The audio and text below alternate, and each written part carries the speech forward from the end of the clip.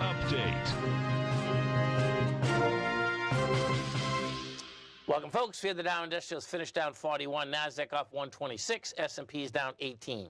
Gold. Gold contract down a buck 20, 2,335 an ounce. We had silver up 15 cents, $29.41 an ounce. Light sweet crude down 30 cents, $81.44 a barrel. Notes and bonds. 10-year note down 15 ticks, 109.25. The 30-year down a full point plus 19 ticks at 117.23. Now that's very unusual.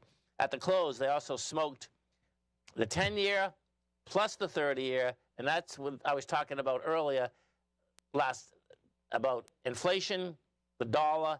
The market's going to be paying attention to this in a monster way now, folks. They're going to have 48 hours to think this through. And those notes and bonds, they want lower price, higher yield, because the bottom line is that after that debate last night, you know, Trump will be president if, if it stays as it is. We'll be spending money. And the bottom line is that it'll be a, lot harder for the note and bond market to basically go higher. King dollar. King dollar down 15 ticks, 105.893. Let's get over to the market because you get a failure in price and volume on all the indices. You take a look at the SPY.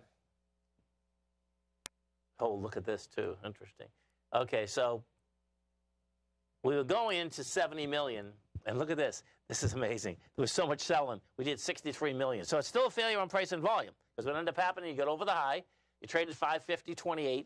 The high was 550.12, and you gave it up. The Qs.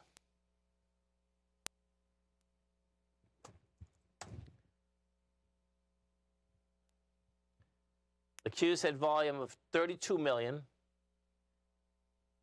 We are going into 30, 37.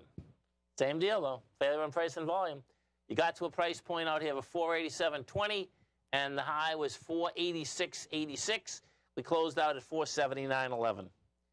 So we'll see how this shakes out on Monday morning, how this whole thing's going to shake out, because what we do have, no doubt, is that you get the holiday week, Monday, and it, Monday's going to be a slow day because there's going to be a lot of people on vacation July 4th. Market closes at 1 o'clock on Wednesday. No business July 4th, open on Friday. Have a great weekend, folks. Have a safe weekend. Have a great one.